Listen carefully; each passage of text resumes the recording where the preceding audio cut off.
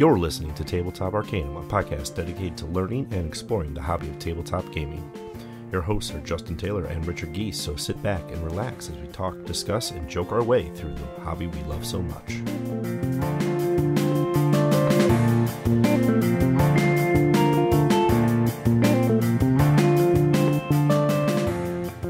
Evil from Beyond has come to the museum. Throughout the museum's histories, visitors have been drawn to its unparalleled collection of ancient exhibits and exotic curios from faraway places.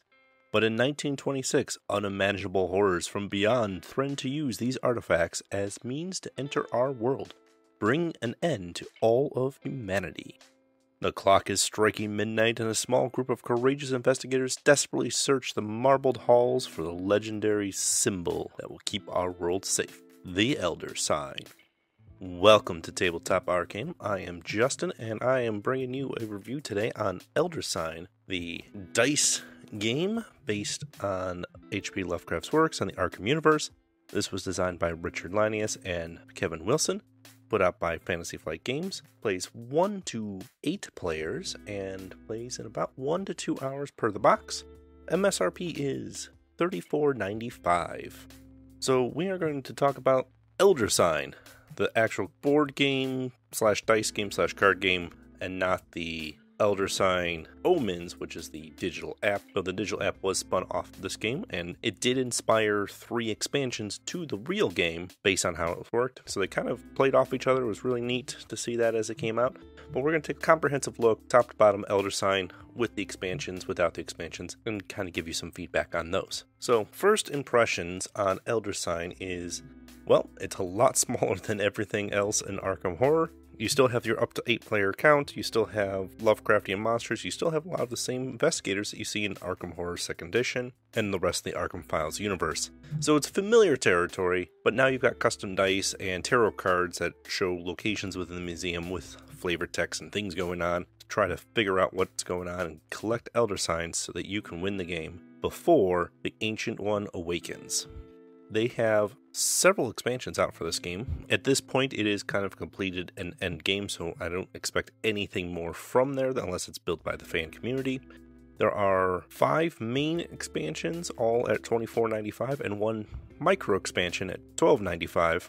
The first two were Unseen Forces, then Gates of Arkham. Then, with the success of the app and digital version of Elder Sign Omens, Omens of Ice, Omens of the Deep, and Omens of the Pharaoh were also released, which emulate more of a little story arc campaign, gets you out of the museum and gets you playing in an expedition to Antarctica, R'lyeh, or to the pyramids themselves, which are all features in the Omens games, which was a little bit easier to do in digital, and then they found a way to make it work in the physical game. So let's talk about things that Elder Sign does well. One thing is it captures everything Arkham Horror is in a much smaller box and much less imposing price point as well. At $35, you get quite a bit of game out of this. You have a bunch of investigators to start with, several ancient ones, and then a decent deck of cards, which are your mission cards and your objectives to complete in there. And essentially, you'll have six of those available to you at any given point, with potentially a seventh one being a other world encounter if a magical portal can open up. And you essentially go to these little places and you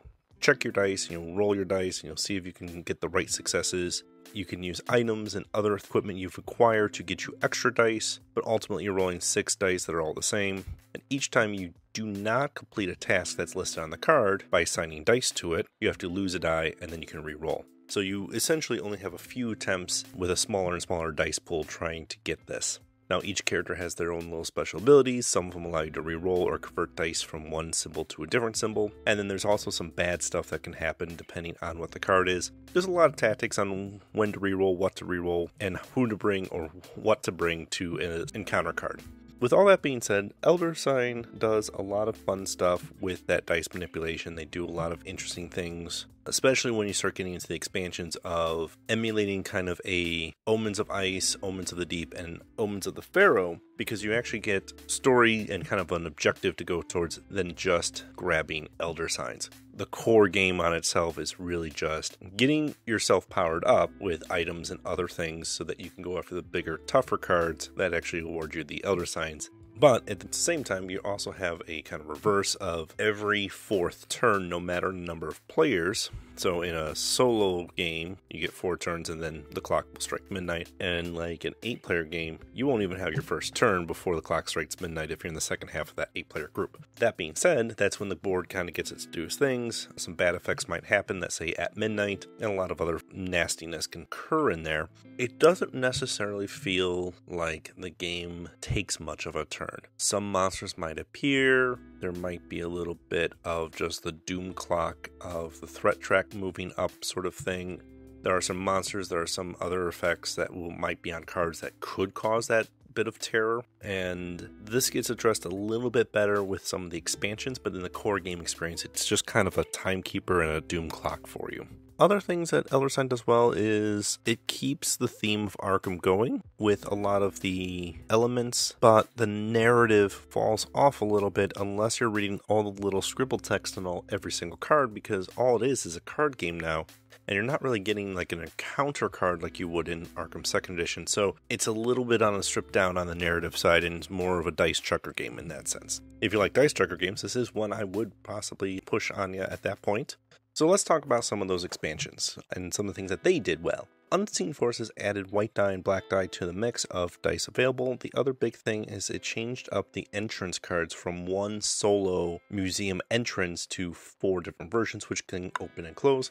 Kind of give a little bit more variety in there. The black die was usually a bad thing and it's a cursed die, and the white die was a bonus die. It would be almost like a seventh green die for you if you can earn that.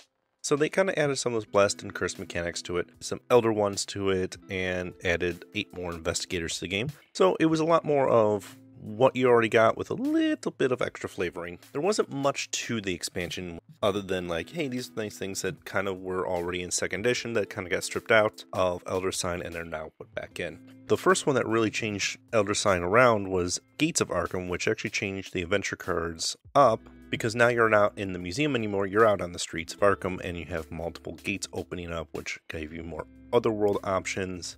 They added some skill cards and other things, event cards and membership cards that you can earn in the game, and that was kind of a fun aspect. One other thing that I really did enjoy specifically about Gates of Arkham is the adventure cards some of them would be face down and they would have a green, yellow, or red kind of stoplight colors on there to give you an indication if it was an easy, normal, or hard one. But you couldn't necessarily see what you were getting yourself into. It was kind of nice in that suspense, like, hey, that's easy. I don't have a lot of stuff on that right now. I should probably go on that. Or we should probably do the hard one. I, need some bigger rewards. Now, the Omens of Ice, Omens of the Pharaoh, and Omens of the Deep expansions were very much campaigny based.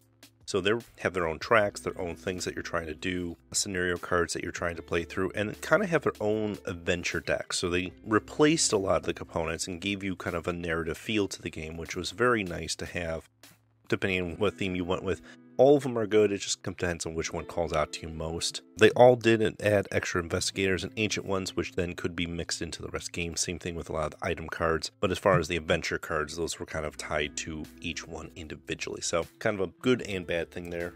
And then finally, the micro expansion was kind of put out at the end as a print on demand. This is Grave Consequences added some epic battle cards and phobia cards and empath cards, which were just kind of different options that you could play with the game. The epic battle cards I never really enjoyed, but I never really played those with the Arkham Horror Second Edition epic battles either, so that is a part of it. The empath cards and the phobia cards were pretty much if you went insane, you would not necessarily go and be devoured. You would get a phobia card, restored back to health, and then you could keep playing but with a negative penalty it was something that was introduced in the Arkham Horror Second Edition, so Richard Launius had wrote some custom rules and brought that into Elder Sign as well.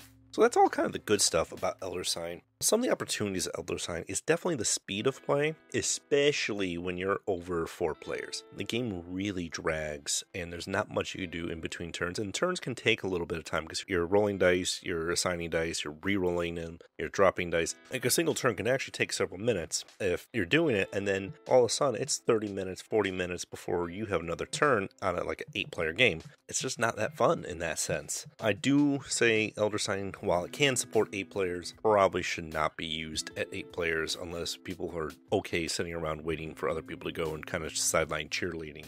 The other thing is because it lost a lot of its narrative, especially in the core game in the first one or two expansions, it wasn't until the Omens took off that there actually was more of a narrative other than there's an ancient one, you're in the museum, accomplish things, and try to beat the clock. Some people who played Arkham Horror were looking for a little bit more to it. The table space is much better, and there's a lot of perks to Elder Sign, but for almost only shaving maybe an hour or two off of gameplay, if you're lucky, you're getting a lot watered down version of the full board game. That is the other thing I will call out is the time it takes to play Elder Sign, especially if you're mixing some of the expansions. 1 to 2 hours is relatively not accurate. You can lose in 1 to 2 hours, but to actually pull off a victory tends to be another 2 to 3 hours at that point.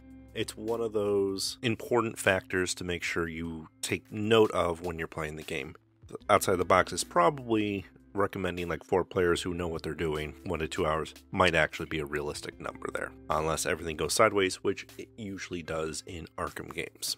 Kind of hinted at it when I was talking about the expansions before. The downside to the Omens ones is because you're only playing those scenarios, there's not a lot in each of them that gets mixed and matched. Gates of Arkham is probably my favorite of them all because it does allow you to do a little bit more in and out. Unseen Forces really just enhances the base game only, but doesn't really do too much more to it. If I had to recommend a single expansion, I would probably go for Gates, and then maybe Unseen Forces if you just want to reinforce what you already have, or then go for the Omens if there's something else. Grave Consequences is something I would pick up at the end if you had just have the collection and you want to finish it off. That being said, there's a lot of options when you have everything you can smash it all in a single box, but it takes a lot of packing to put all of these things in a single box of Elder Sign. They did kind of get to the point where if you need everything and if you don't sleeve it, you can squeeze it in there, but it's tight. So some storage storage solution will eventually be needed, mostly because the original box is kind of that flippy cardboard spacer void fill that doesn't really do you any good with the opportunities of Elder Sign, if you are really big into Arkham and you want to roll dice and, and just slim down the process of Elder Sign into I'm just rolling dice to make sure I make my checks, you can get a lot of entertainment out of this. I have gotten a lot of entertainment out of this, but I would technically, if I was given the choice, would probably play the board game over Elder Sign each time, unless I had just played the board game like 30 minutes ago. Then maybe I would play Elder Sign after that. Overall, I would personally actually recommend the digital version of Elder Sign because it really does make Arkham Horror feel like it's an on-the-go game, and they did an amazing job with that. If you're a analog only sort of player, then definitely pick up the physical version. If you're on the fence, I would prefer the digital. It takes a lot of the mechanics and streamlines your gameplay quite a bit because one to two hours is not what you play on your phone. You can actually get in and out of those games relatively fast since it takes care of all of your mitigation of tokens MSRP is $34.95. I believe that's actually a pretty fair price for the amount of cardboard chits and dice and stuff that you get in the box. It's actually a smaller box game, so it actually has an appropriate price point on it.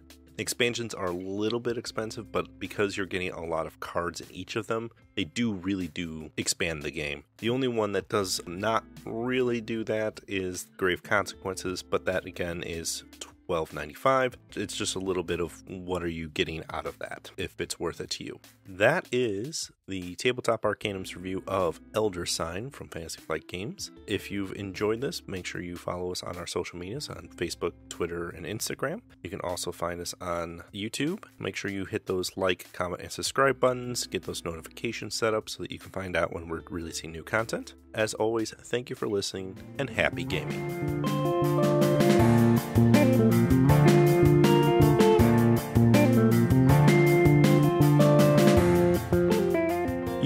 Listening to Tabletop Arcanum produced by Justin Taylor. This episode is hosted by Justin Taylor. Mixing and editing by Richard Giese. Original theme by Paul Moore and Isaac Gilbert. Check the description for this episode's featured background music. You can follow us on most social media platforms. Be sure to like, subscribe, and follow, and leave us a review if you would. As always, thanks for listening.